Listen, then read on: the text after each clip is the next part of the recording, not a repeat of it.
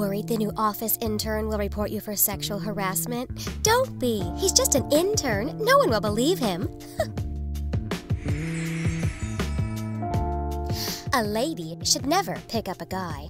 She should just pick. Trouble getting into the bar? Try. VI. Please.